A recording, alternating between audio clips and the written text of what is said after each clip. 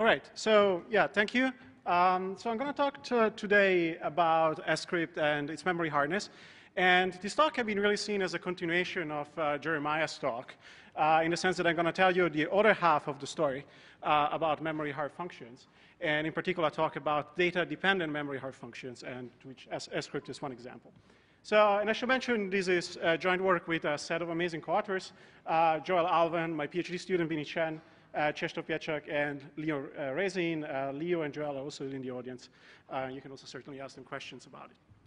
So I don't need to introduce the concept of a memory hard function anymore. So in particular, um, uh, Jeremiah has introduced the notion. And uh, let me just do one thing here. I have a problem with the screen. All right. So uh, I don't need to introduce the notion anymore uh, here, but for those of you that missed the talk or just came in, uh, just think of them as uh, moderately hard hash functions to be used in the context of password hashing or key derivation or proofs of work, where moderate hardness is in terms of both time and, most importantly, uh, memory consumption. And uh, there have been numerous practical designs that have been just mentioned uh, that targeted memory hardness, like Scrypt and Argon2D, Argon2I, Catena, balloon hashing, and many more. But the focus of this talk is going to be on provable security once again.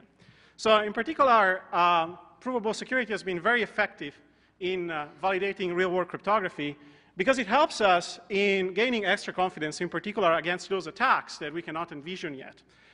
But somehow, in the context of memory hard functions and uh, the password hashing competition, where many of such designs have been proposed, uh, things went a little bit differently, mostly because we were lacking appropriate theory at that point in time, or at least that's my assumption.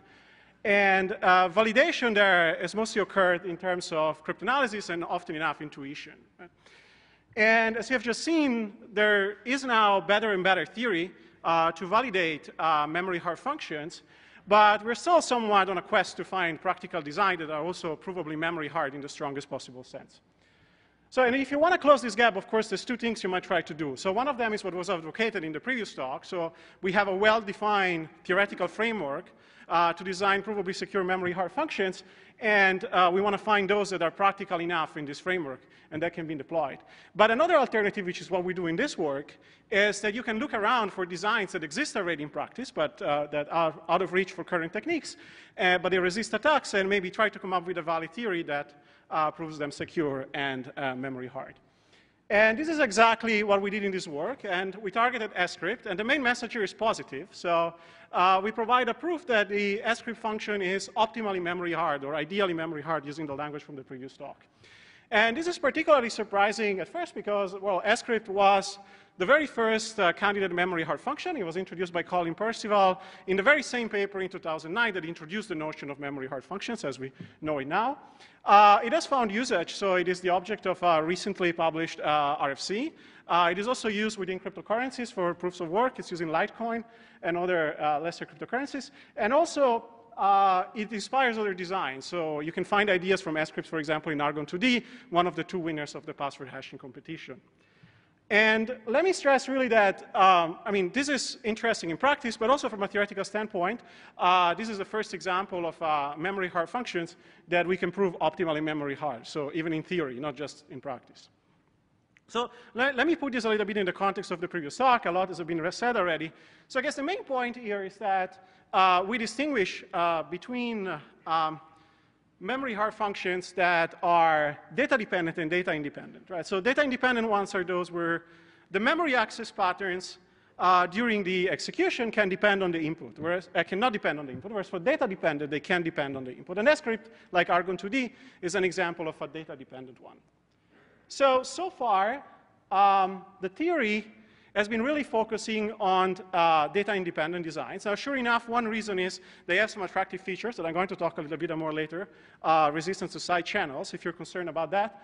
Uh, but uh, a major point is also that from a theory standpoint, there's a much cleaner connection to graph pebblings that Jeremiah has just illustrated that makes proving things much easier. On the other hand, even though we, yeah, we have this framework in place, coming up with practical designs, uh, as you can see, is work in progress, right? And we have uh, even though this is the object of some controversy, but we have attacks now that definitely show that there are structural weaknesses in practical designs that, that we already have. On the other hand, on the data-dependent side of things, um, there's quite a lot we don't understand. So we have designs around like Scrypt and Argon2D that seem to resist non-trivial uh, uh, any non-trivial attack and speed up. On the other hand, we have absolutely no theory uh, to understand why that's the case, and they seem much harder to tackle. And so that's exactly what we were concerned with here. So a little bit more concretely, uh, what we target uh, in, uh, when I say we analyze Scrypt, we actually target an analysis of what is called ROMIX, which is the core of the Scrypt function. And um, it's, a, it's a hash function, which is a mode of operation for a simpler hash function, which is not quite a hash function in the usual sense. It's uh, built out of salsa and it's length preserving. But I'm going to abstract uh, the, this as a, just a hash function h. And the structure is very simple. So it starts with a simple uh, iteration of a hash function, of the hash function h. So you have an input, m, is going to become your first state x0. Then you iterate the hash function to get n values x0 up to xn minus 1. And then you apply the hash function once more to get what is the initial state of the second stage. Um, the second stage is where the interesting things happen that uh, ensure memory hardness. Uh, in particular, we start by looking at the initial state as 0. Maybe you can't read it from far, it's a little bit small, but uh, what you do is you now want to derive uh, an integer between one, 0 and n minus 1 from the state as 0. You can do that, for example, by interpreting s0 as an integer and then reducing it mod n. And you interpret this as an index which points to one of the n values x0 to xn minus 1. Say it points to 1. So you're going to take that value, and now you're going to XOR it into the state, apply the hash function again, and then you get the next state. And so you can go on like this. So you're going to do the same thing to the next state, derive an index, say this case by accident is the last one, take that value, it into the state, and go on and on until you get the final output. Now you have some parameter n here. Um, there's no clear discussion, I think, what are the right parameters for Scrypt. I think suggestion I've seen are things like n is equal to, 2 to the 14. Uh, w, which will be the length of the hashes, so the size of the state, uh, should be something like one kilobyte or larger, but I think by today's standards, you might even want to have larger parameters. All right, so we want to analyze this. We want to prove it memory hard. What that means is that we would like to prove a lower bound on the cumulative memory complexity. Uh, that was already introduced in the previous talk. So informally, what it means is that we want to show that for every adversary, even parallel ones, if we take the integral of this curve, so we look at the memory consumption at every point in time, and uh, we sum them up, we want to show that this is uh, large enough. Okay? And uh, this is a lower bound uh, for uh, another metric which is less appropriate uh, since it's less uh, resilient to amortization, which is the ST complexity, which just looks at the maximum memory consumption times uh, the time complexity.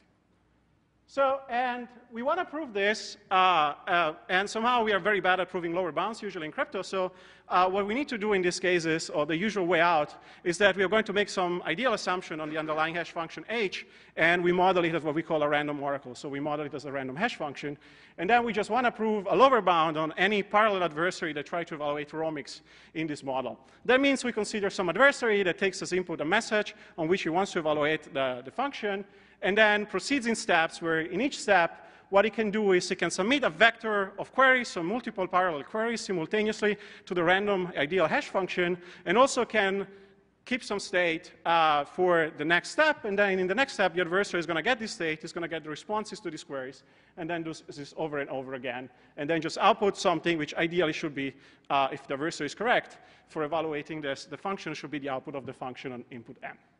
Right, and then we want to um, consider the cumulative memory complexity of such an adversary, which uh, typically we're going to model the memory size at every step by considering the size of a, of a, of a state as i, and plus we're also going to consider uh, the size of the answers that uh, the adversary gets back from the hash function queries. Uh, this is uh, very generous. Um, the adversary might need more memory, but we're going to prove a positive result, a lower bound. So it doesn't matter if the adversary uses even more memory, then that's better for us.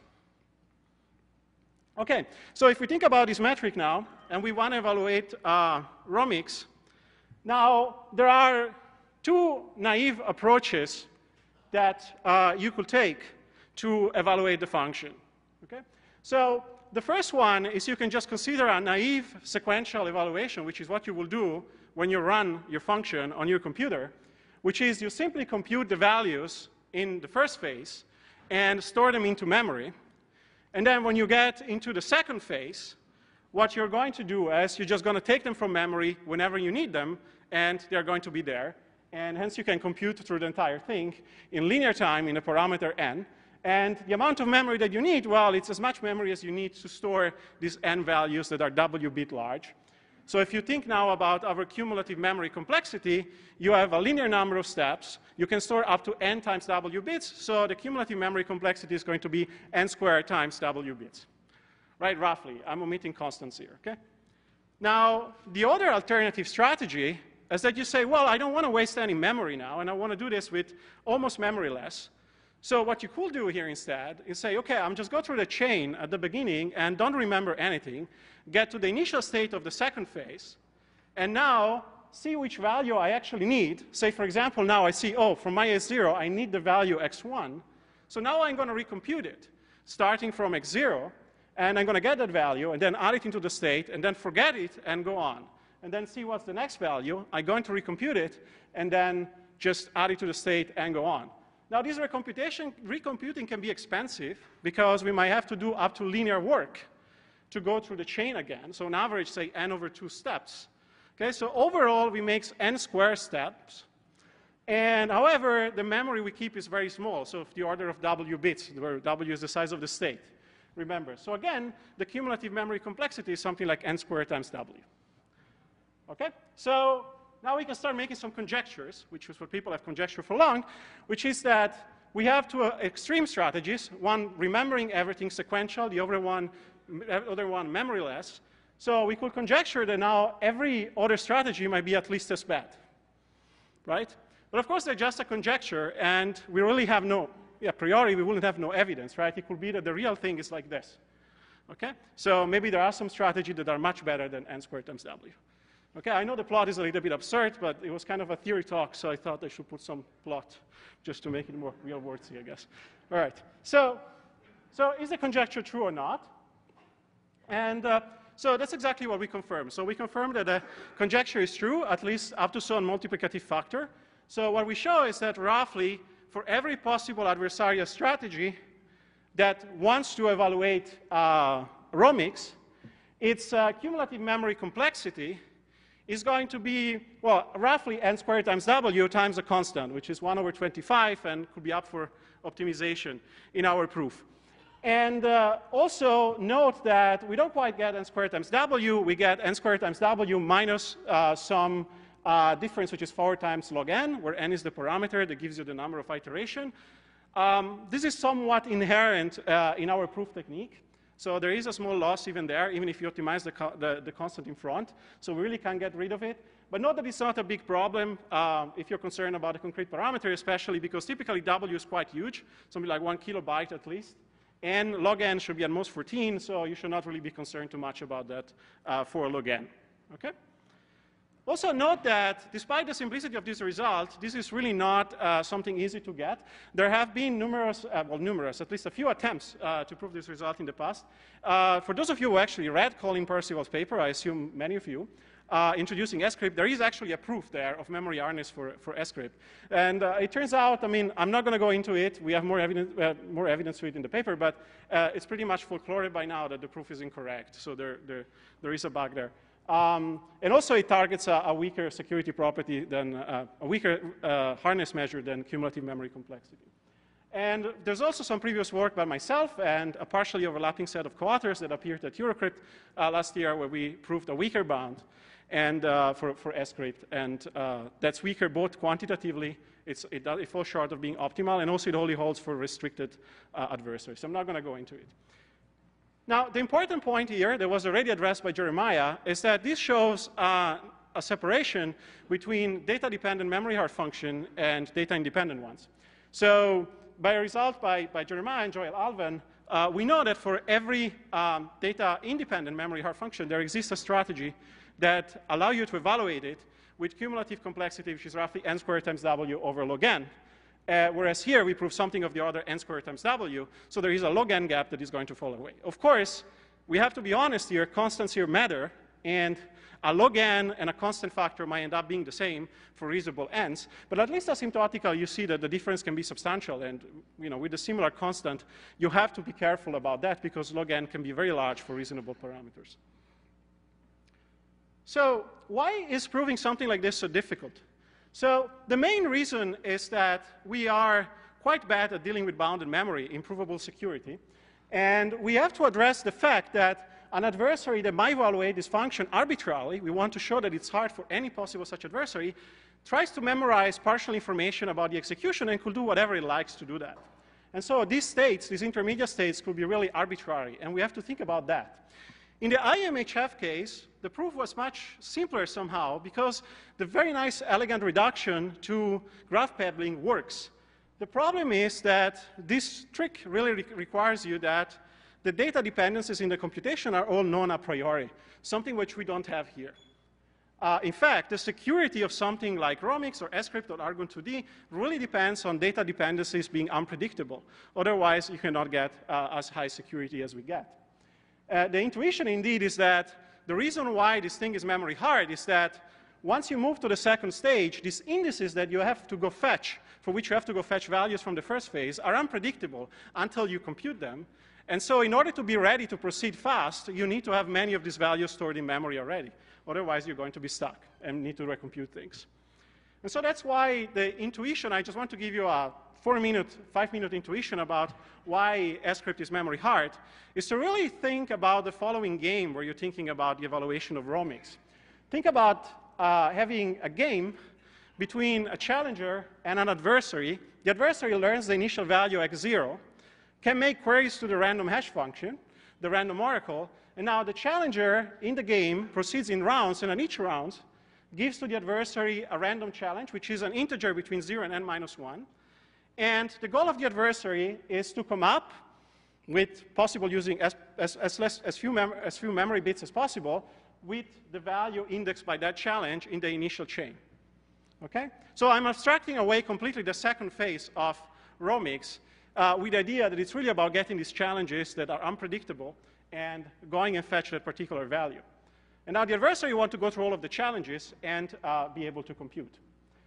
So in fact, we can make an extra step here just for the purpose of this talk, which is very intuitive, and even model a simpler version of this game where the adversary only remembers, similar to the pebbling case, um, just the values, uh, just values x0 to xn minus 1, or a subset of them. And so we can really think of this also as a special case of a pebbling game, or a variant of a pebbling game, where we look at the line simply, and uh, putting a pebble on a particular node on the line with nodes from 0 to n minus 1 indicates uh, remembering the corresponding value xi if you have a pebble on node i. And then you have the same rule as in the pebbling game we had in the previous talk, and in particular, multiple moves can be done in parallel. So something the adversary could do in trying to evaluate, it will start by putting always a pebble on the first node. Then it could add pebbles, it could move pebbles, and always put a pebble next to a pebble which is already there, and move in parallel to support parallelism of the, the strategy. Right? And so in particular, the challenge, the, the, the round game with challenges in this setting will simply have now the adversary learning a challenge at every round, say for example here four, and now the goal is to put a pebble on four. For example, now this could be done in four steps if you don't have anything on the line, because you have to start by putting a pebble and then move step after step. Then say you get another challenge, now you have to put more another pebble, move there into step. But now if you get another challenge on six, now you're lucky, you have a pebble nearby on four, and you can move fairly quickly to six. Right? And you're interested now in seeing what's the complexity of an adversary to go through this game.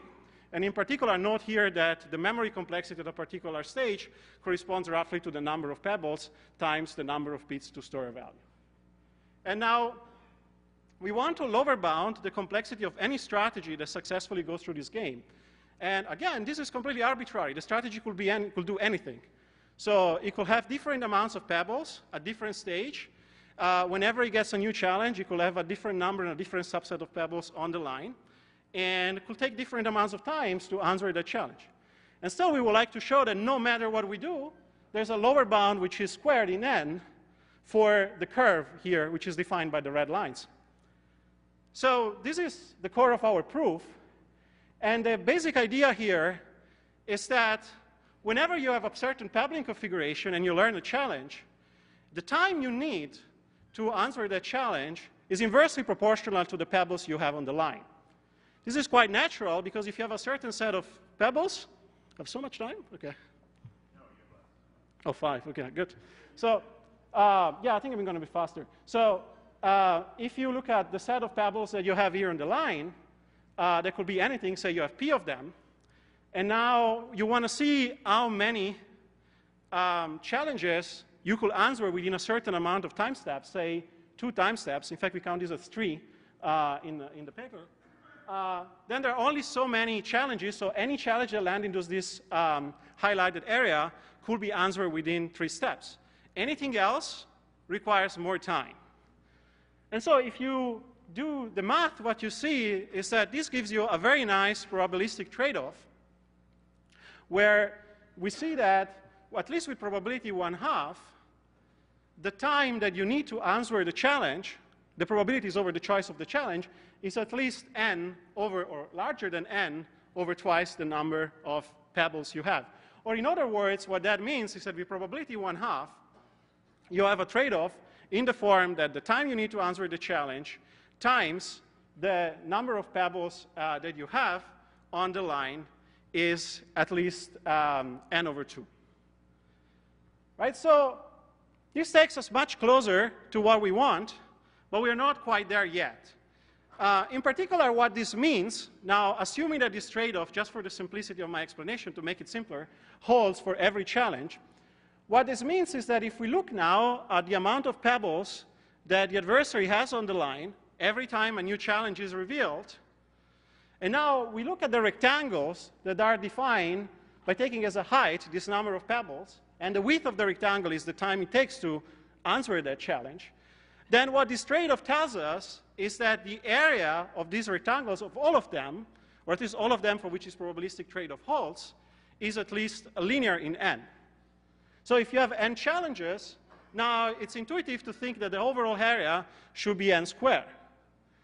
Unfortunately, that's not quite what we need because we need to look at this curve which is defined by the amount of pebbles we have at every time. And we have no guarantee that after an adversary learns a challenge, he might just not drop everything he has and just remember, for example, the closest pebble to the challenge and forget about everything else. In fact, for the last challenge, for example, that's the most reasonable thing to do. Everything else will be rather stupid. So what that means is that the area, which is the blue area here, is n squared, but we need to lower bound the, um, the area uh, which is defined by the red uh, histograms.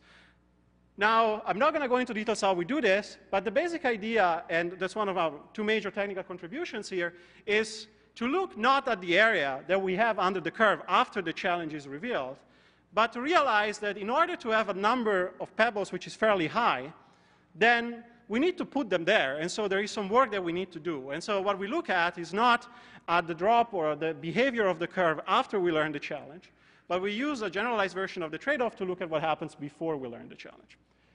The other main challenge, of course, that I haven't talked about is that here I am looking at the simplified version in terms of pebbling.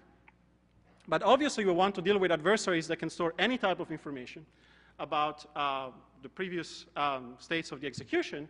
And that requires some more technical work, which I'm not going to talk about here, but that's very important. Now, I, I have some lengthier conclusions here um, that I want to start going through. So the first one is that I think this is very, it's, it's, an important result because it's a good example of an interesting theory problem that, however, validates a very practical design. Uh, I just have a quote here from Phil Rogaway's essay on the moral characters of cryptographic work, where, in fact, he motivates this as one of an important line of work uh, to try to understand these modes. Um, but that's not the, one, the only one thing here. Um, so it is really, it only gives, it gives also a very good example of a practical design uh, with strong provable memory hardness guarantees. And uh, also the first one, which is really practical and as such provable guarantees. And also, it's really the first example, even in theory, of an optimally memory hard uh, MHF. Now, a question you might ask, because I've been focusing on Scrypt and ROMIX, is what about Argon 2D? Um, so Argon 2D, for those of you who are familiar with it, has a very similar design to Scrypt.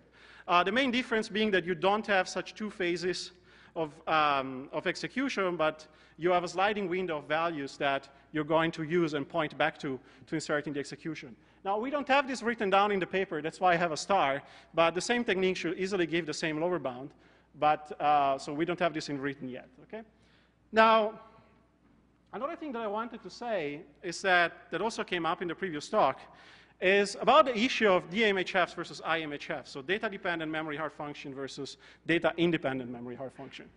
Um, so at least from, with respect to the goal of achieving um, high and optimal memory hardness in a provable sense, so DMHF seems to be easier to get right and also provably achieve higher uh, memory hardness, at least in an asymptotic sense. So the main problem here that you might face, uh, despite the fact that they're also harder to prove, uh, memory hard, but other than that, of course, the main concern are side channels. And uh, this is something that was also mentioned by Jeremiah. Uh, there are a possible concern. Uh, your memory access patterns do depend on the input.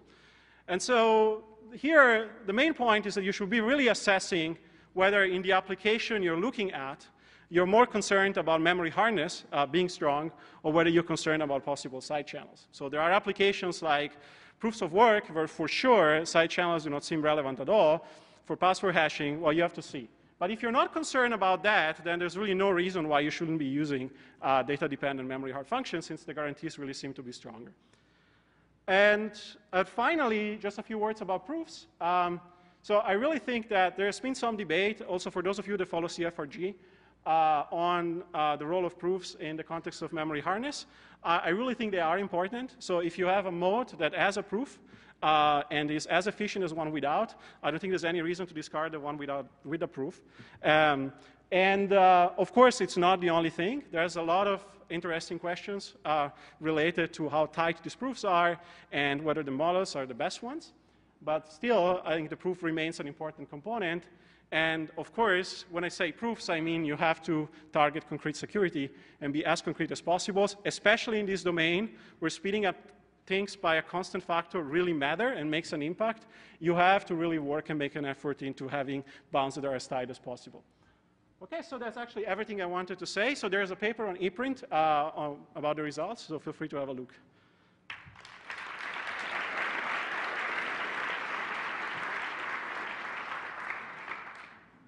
With a quick question. So there, there was a constant in front of your bound, right? So does that give any inspiration for a new attack that would be a, a small constant factor speed up?